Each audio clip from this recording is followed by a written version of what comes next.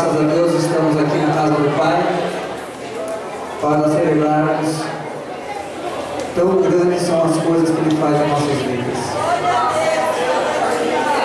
Eu pediria para os irmãos que abram a sua Bíblia no livro de Juízes. Glória a Deus. No livro de Juízes, capítulo 6 e verso 2. Livro de Juízes, capítulo 6, versículo 2. Glórias a Deus. Então, o anjo do Senhor lhe apareceu e disse: O Senhor é contigo, varão valoroso. Mas Gideão lhe respondeu: Ai, Senhor meu, se o Senhor é conosco, porque tudo isso que nos sobreveio, e que é feito de todas as suas maravilhas que nosso Pai nos contaram, dizendo: Não nos fez o Senhor subir do Egito? Porém, agora o Senhor nos desamparou e nos deu nas mãos dos midianitas. Então o Senhor olhou para ele e disse: Vai nesta tua força e livra Israel das mãos dos midianitas. Porventura não te enviei eu? Aí ele disse: Ai, Senhor meu, com que livrarei Israel? E minha família é mais pobre nas terras, e eu, o menor na casa do meu pai. Amém, irmãos? Meus amados e queridos irmãos, vemos nestas palavras o que Gideon pensava que era o menor na casa do pai. Assim, muitas das vezes em nossas vidas, pensamos que somos menores em todas as circunstâncias da vida. Muitas das vezes, deixamos muitas das pessoas nos menosprezar, mas Deus é conosco.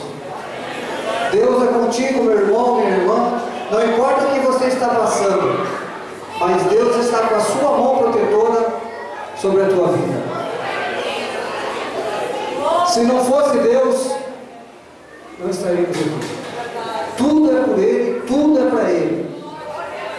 Porque muitas das vezes deixamos nos levar por situações em nossas vidas, enfraquecemos, deixamos de vir na casa do Pai, deixamos de agradecer a Deus, mas somos gratos a Deus por um sopro de vida, por estarmos aqui, por abrir os nossos olhos, por estarmos presentes nessa festa, nesse banquete. Gratos somos a Deus por isso. Deixamos às vezes coisas mundanas, igual eu falo, mas são circunstâncias que ocorrem em nossas vidas, muitas vezes por imprudências nossas. Pensamos que tudo nos convém, mas nada nos convém. Tudo é por Deus, tudo é no momento certo. Deus vai realizar os nossos sonhos, Deus vai nos tirar dessas provas que passamos, Deus nos abençoa sempre. Não sabemos o que está acontecendo, mas Deus sabe. Deus tem o melhor para nós. Muitas das vezes ficamos nos nossos quartos, sozinhos com Deus, orando, chorando, não sabemos o porquê de tudo. Mas Deus sabe o porquê de tudo. Deus sabe por que você está passando. Você não está enfraquecido. Deus está te fortalecendo. Para podermos passarmos por esse vale que às vezes estamos lutando, lutando contra todos e contra tudo, mas Deus é contigo, varão valoroso. Assim está escrito. Deus nos dá coragem para passar por tudo. Quantas das vezes pensamos, não vou conseguir, mas Deus nos dá coragem para passarmos. Deus nos dá força, porque o Senhor falou vai nessa tua força, homem valente. Assim nesse homem valente, mulheres valentes. Povo de Deus, povo valente. Vamos nessa força, irmãos, porque Deus é conosco. Assim Deus deu sinais a Gideão. Quando no sacrifício desceu o fogo para consumir a oferta. Isso mostra que Deus aceita a nossa oferta de coração.